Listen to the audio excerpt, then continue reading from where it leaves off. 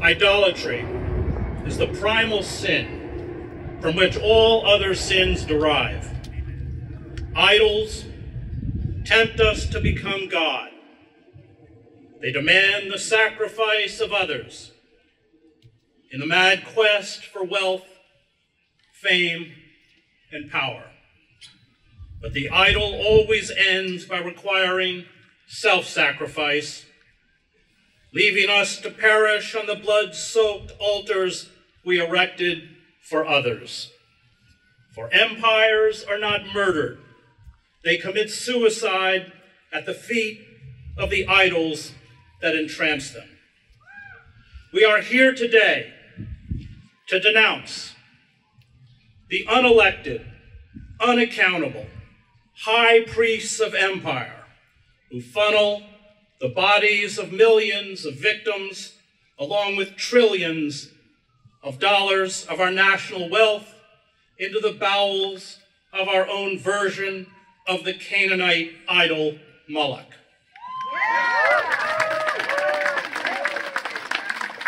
The political class, the media, the entertainment industry, the financiers, and even religious institutions bay like wolves for the blood of Muslims or Russians or Chinese or whoever the idol has demonized as unworthy of life. There were no rational objectives in the wars in Iraq, Afghanistan, Syria, Libya, and Somalia, and there are none in Ukraine. Permanent war and industrial slaughter are their own justification. Lockheed Martin, Raytheon, General Dynamics, Boeing, and Northrop Grumman earn billions of dollars in profits.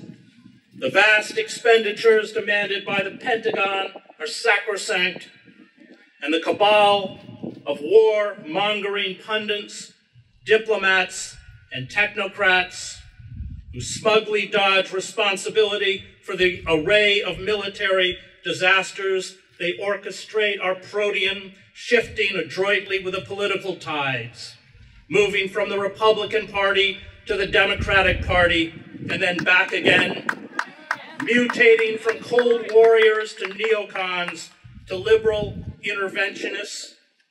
Julian Benda called these courtiers to power the self made barbarians of the intelligentsia.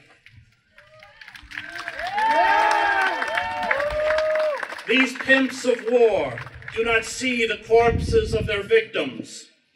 I did, including children. Every lifeless body I stood over as a reporter in Guatemala, El Salvador, Nicaragua, Palestine, Iraq, Sudan, Yemen, Bosnia, and Kosovo, month after month, year after year, exposed their moral bankruptcy, intellectual dishonesty, sick bloodlust, and delusional fantasies. They are the puppets of the Pentagon, a state within a state, and the weapons manufacturers who lavishly fund their think tanks, Project for the New American Century, Foreign Policy Initiative, American Enterprise Institute, Center for a New American Security, Institute for the Study of War, Atlantic Council, and Brookings Institute. Like some mutant strain of an antibiotic resistant bacteria, they cannot be vanquished. It does not matter how wrong they are, how absurd their theories of global dominance, or how many times they lie or denigrate other cultures and societies as uncivilized, or how many they condemn to death. They are immovable props, parasites, vomited up in the dying days of empire, ready to sell us the next virtuous war against whoever they have decided is the new Hitler. The map changes, but the game is the same. Pity our prophets, those who wander the desolate landscape crying out in the darkness. Pity Julian Assange undergoing a slow motion execution in a high security prison in London. He committed the empire's fatal sin. He exposed its crimes, its machinery of death, its moral depravity.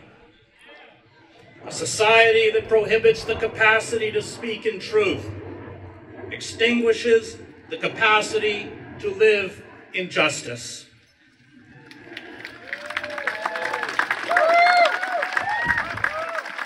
Some here today might like to think of themselves as radicals, maybe even revolutionaries. But what we are demanding on the political spectrum is, in fact, conservative. It is the restoration of the rule of law. It is simple and basic. It should not, in a functioning republic, be incendiary. But living in truth in a despotic system, one the political philosopher Sheldon Wolin called inverted totalitarianism, is an act of subversion. Yeah. The architects of imperialism, the masters of war, the corporate controlled legislative, judicial, and executive branches of government and their obsequious mouthpieces in the media and academia are illegitimate. Say this simple truth and you are banished, as many of us have been, to the margins. Prove this truth, as Julian did, and you are crucified. Red Rosa now has vanished too. Bertolt Brecht wrote of the murdered socialist Rosa Luxemburg. She told the poor what life is about, and so the rich have rubbed her out. We have undergone a corporate coup d'etat where the poor and working men and women, 60% of whom lack $400 to cover an emergency expense, are reduced to chronic instability. Joblessness and food insecurity are endemic. Our communities and cities are desolate. War, financial speculation, constant surveillance, and militarized police that function as internal armies of occupation are the only real concerns of the state. Even habeas corpus no longer exists. We as citizens are commodities to corporate systems of power, used and discarded, and the endless wars we fight overseas have spawned the wars we fight at home as the I teach in the New Jersey prison system are acutely aware. All empires die in the same act of self immolation. The tyranny that the Athenian Empire imposed on others, Thucydides noted in his history of the Peloponnesian War, it finally imposed on itself. To fight back, to reach out and help the weak the oppressed, and the suffering, to save the planet from ecocide, to decry the domestic and international crimes of the ruling class, to demand justice, to live in truth, to smash the graven images is to bear the mark of Cain. Those in power must feel our wrath, which means acts of sustained nonviolent, civil disobedience, social and political disruption. Organized power from below is the only power that can save us.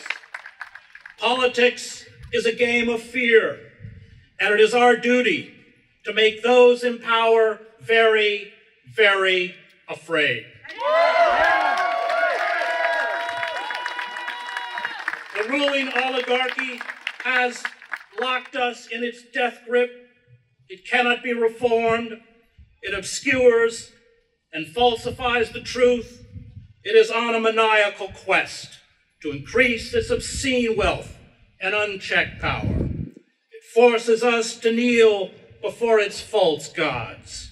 And so, to quote the Queen of Hearts, metaphorically, of course, I say, off with their heads.